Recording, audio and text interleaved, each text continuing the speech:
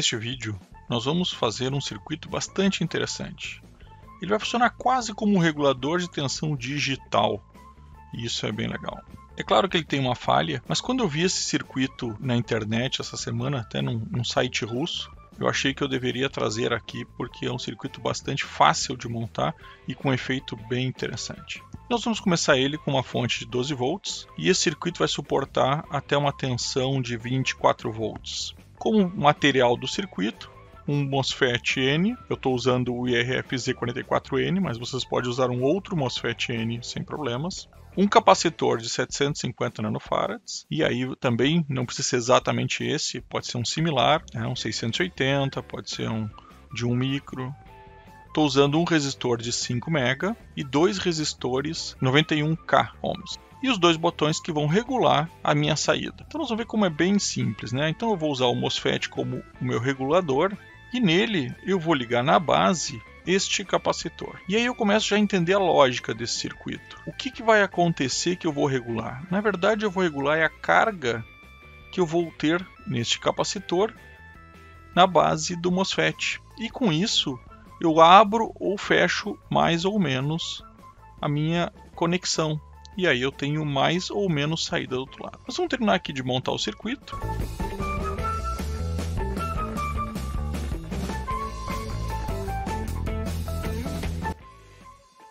E eu vou ligar de cada um dos lados do, no dreno e no source, eu vou ligar um resistor aqui de 91K.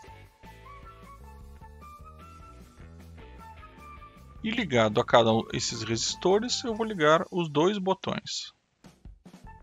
Exatamente, um botão ligado no outro. E o que, que vai diferenciar? Vai diferenciar que eu vou sair aqui pelo meio dos dois botões, eu vou ligar no resistor de 5 mega.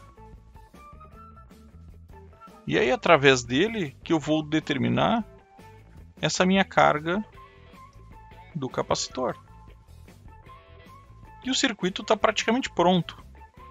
Então o que eu tenho aqui são os dois botões, carregando o capacitor e abrindo o MOSFET. Logo eu tenho na minha saída, deixa eu colocar uma saída aqui fictícia, poderia botar um motor, vou botar um motor aqui como exemplo, mas eu posso ligar outro, outro material, uma fita de LED, uma lâmpada, o que for. E uma das saídas ela vai direto no positivo, que esse circuito ele regula o negativo. Então a outra saída eu vou colocar aqui no dreno, como eu coloco qualquer carga, né? E agora sim está pronto o circuito. Vejam como é simples esse circuito aqui. E agora é só fazer ele funcionar.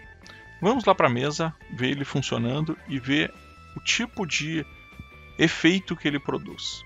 Então aqui na mesa temos o circuito, a entrada de energia 12 volts, o MOSFET, os três resistores e o capacitor, os dois botões de controle. E aí nós vamos ligar aqui primeiramente uma fita de LED para testarmos. Vou botar um peso aqui, senão ligo os 12 volts e vejam que ela está bem fraca.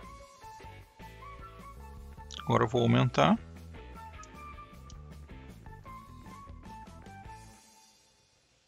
Vou aumentar mais um pouco.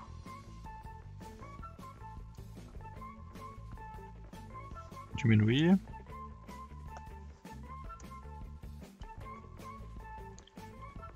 Confesso que eu me surpreendi com o resultado deste circuito. É claro que existe o tempo desse capacitor descarregar e aí ele estragar, digamos, o efeito. Ele não vai manter isto por muito tempo, ou o tempo nem sei dizer. Porque como eu estou usando alguns resistores de tamanhos bastante altos, então ele demoraria bastante para descarregar. Mas deixei alguns minutos e ele manteve.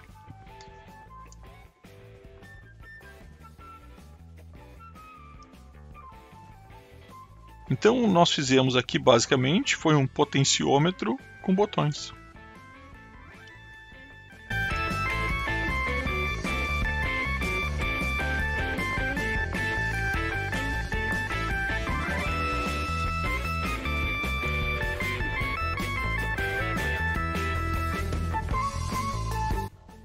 Vamos fazer um teste com algum outro componente.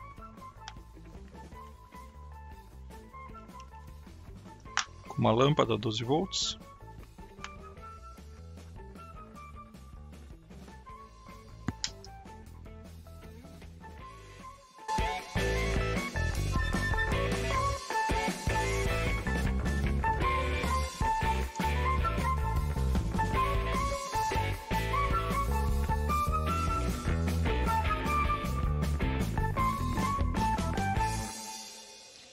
Funciona bem, né?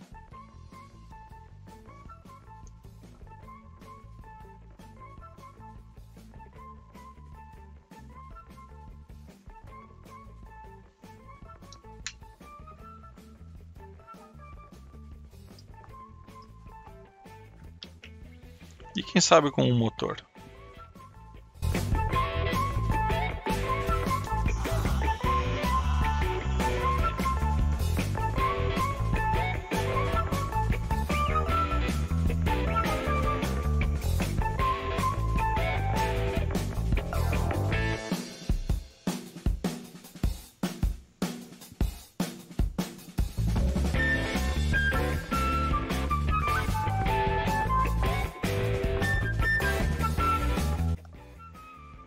Tá aí, motor funcionando bem devagar.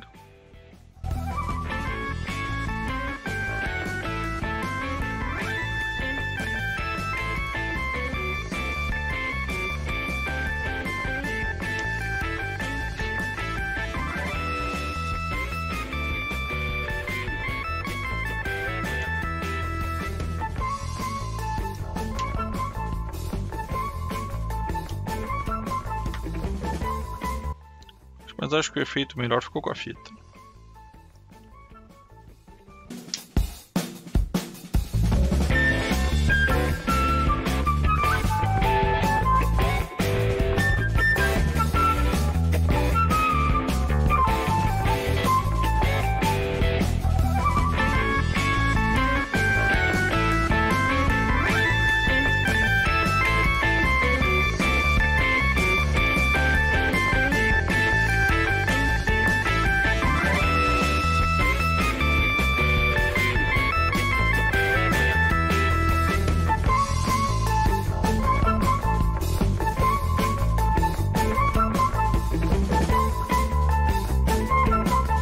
Estou falando do MOSFET, a carga em corrente pode ser relativamente alta.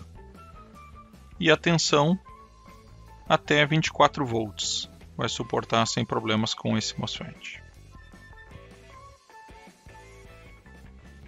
Então por hoje era isso e valeu!